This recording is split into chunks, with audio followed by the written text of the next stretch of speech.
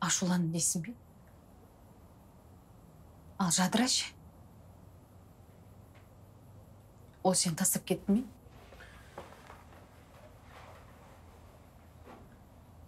Ол уақытша болған қарым қатынас соңы бұлай боларын білген жоқпын. Мен де еркекпін ғой түсінсеңші мені. Шаңырағымыздың шырқын бұзбай сақтап қалайық. Ал енді? Мені тыңда иә мен әйелмін. Сондықтан кез келген нәрсеге сенен рұқсат сұрап отыруым қажет.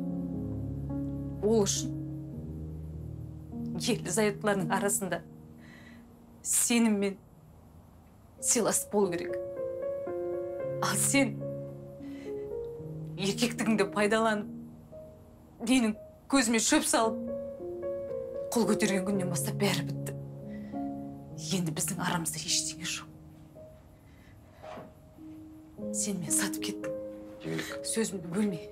Әйел деген ойыңа келгенін істейтін сенің жеке меншігің емес. Ол қамқорлықты қажет ететін нәзік жан.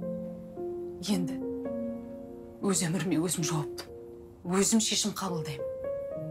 Мен тәуелсіз адаммын.